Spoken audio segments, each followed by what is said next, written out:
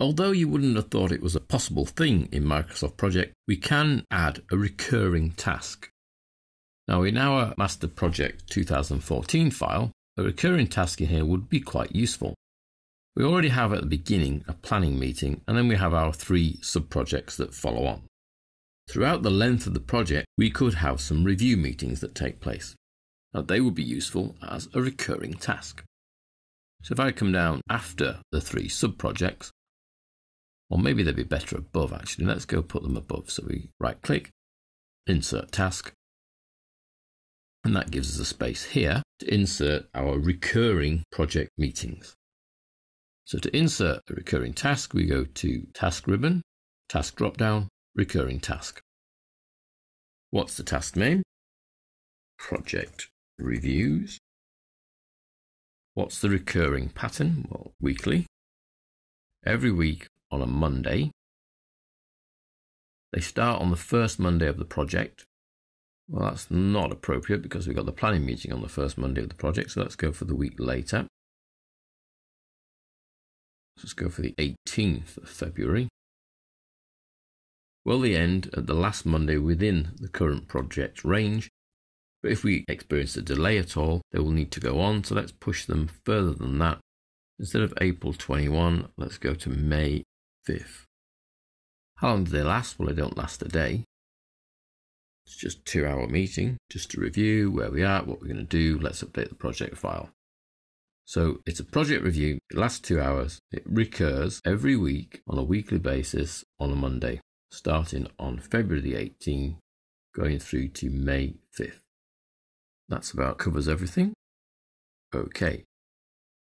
Now what you'll find happens is it actually creates a summary task, which is the name that we put in for the task itself, and then numbers each individual project review sequentially. So project review one, two, three, four, however many they're likely to be across the time span of the project.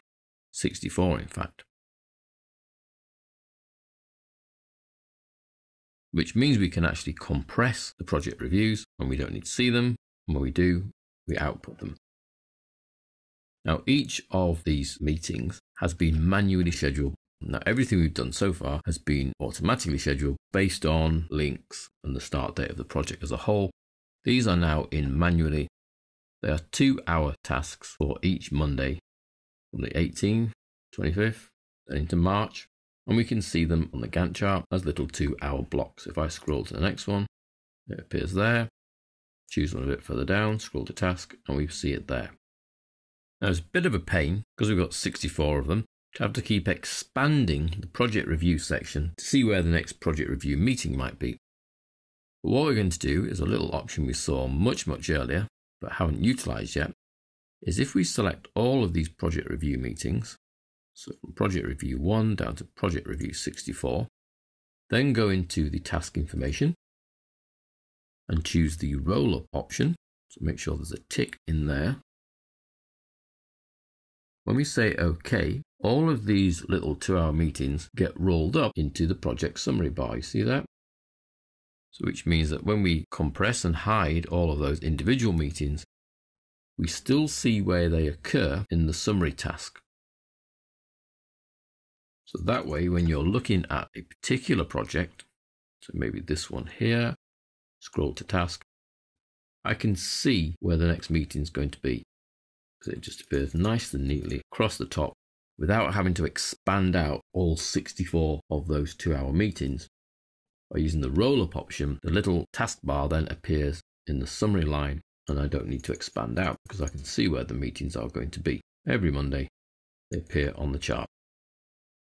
Now, obviously, if I want to assign any resources to these meetings, then I can do that multiple select thing again. So we select all the meetings, task information, resources, and I will need to go to all of these meetings, as will most of the other people, decorator and the joiner for certain, because they're big in this, and then OK. And you can see then that me, the decorator and the joiner appear at each individual little blob, but not in the roll-up because that would make the summary very messy. So let's compress those again.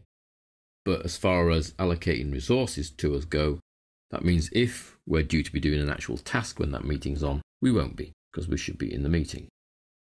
Which then forces some over allocations, as you can see here.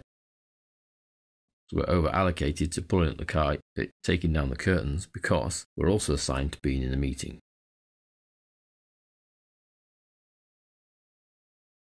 And the same in the other two sub-projects. So before we actually started to run this project, you would want to run the over allocation report just to thin out the work so that we can go to the meetings and not be over allocated when we should be pulling up the carpets. So that's done in the resource sheet. You see it's mainly me that's over allocated. So taking us back to what we did before, we could then level this resource, which is me, just me, level now. I'm now leveled so there's no problem with over allocating me. And no little red men here. And what you'll find is it's just moved things on. You see there, there's a split in that task there because I've got to go for a meeting for two hours. That's fine. It's all about the planning process and making sure that the resources are there at the right time to do the right job.